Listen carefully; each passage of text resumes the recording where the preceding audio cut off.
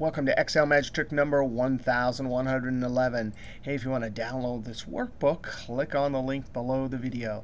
Hey, back in videos 1000, 108, 109, 110, we were comparing two lists and extracting records using filter, advanced filter, an array formula. Now we asked two questions. We either looked at list 2 and said, is the item not in list 1? Or we asked the question, is the item in list 2 also in list 1? Now for the array formula video, there was two formulas. And the one that asked the question, is the item that's in list 2 also in list 1, Exceli Adam at YouTube had a great formula that was a lot shorter than the one I showed. Now here's the one I showed. And we have to look up something with index, get a relative position with aggregate. And in this argument, the array argument and aggregate, I did this huge thing. Now for the question, is the item in list 2 not in list 1? Then you have to use a construction like this, and you would actually use is NA. But if you're asking the question, is the item in both lists, we can get away with just using match. Now, we will have to actually change the lookup range. In this formula right here, we had a lookup range and index of list 2. But when we do this new formula, we'll be looking through list 1.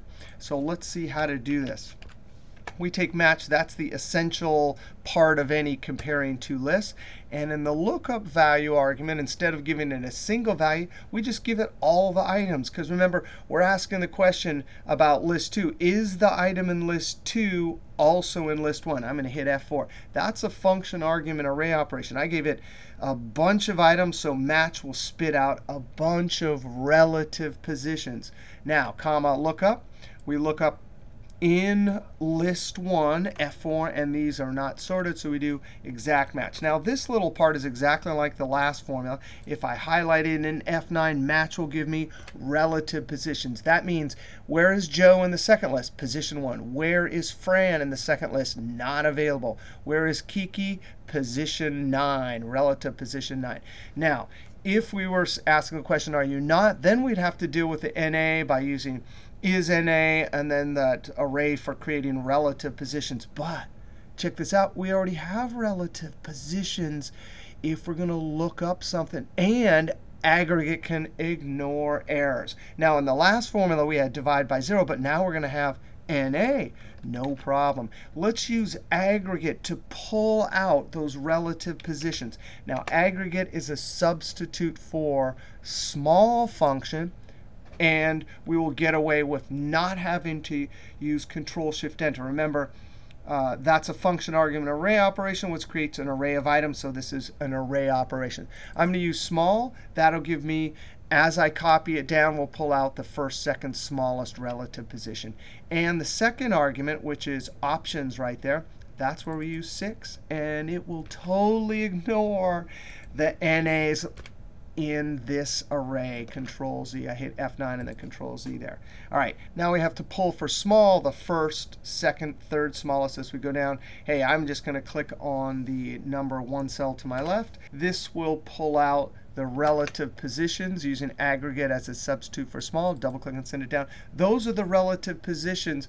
Remember, we asked the question, is the item in list 2 also in list 1? But these are the relative positions for list 1, F2. So if we're looking them up and extracting, now we use index and the array. It's going to be list 1, F4, comma. And there is the relative position or row number. Aggregate will pull it out as we go down. Now I've edited this, right?